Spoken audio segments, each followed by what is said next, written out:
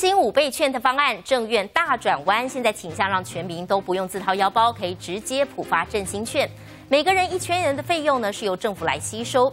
按照全台总人口来算，经费大约是两百三十亿，再加上印券相关的行政成本二十亿元，预计会由纾困四点零剩余的一千六百亿预算来支应。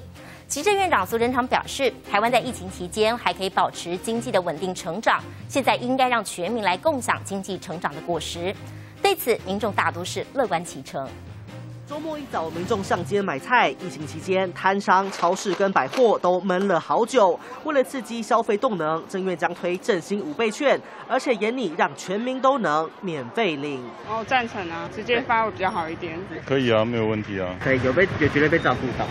照顾哦，没关系啦，大家都有嘛。原本规划让民众拿一千现金换五千元消费券，不过考量疫情冲击，这回不让民众自掏腰包，每人千元费用政府来吸收。按全台两千三百万人口数来算，总共就两百三十亿元，加上二十亿印券相关行政费用，都将由纾困四点零剩余的一千六百亿来支应。而台湾在疫情期间经济的好表现，也让全民共享经济成长的果实。台湾今年经济成长率持续提升，考量政府整体财政负担后，经济成长的成果应该可以让全民共享。院长认为，这一次民众兑换五倍券时应该付的一千元，可评估全部由中央政府来吸收负担。政府有心振兴经济，要全民一起拼。不过，也有民众对消费券还是持观望态度。其实现金最实际。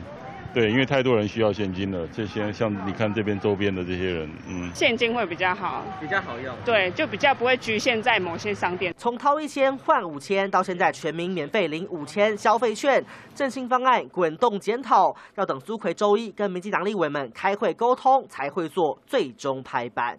记者林建军、黄伟才特别报道。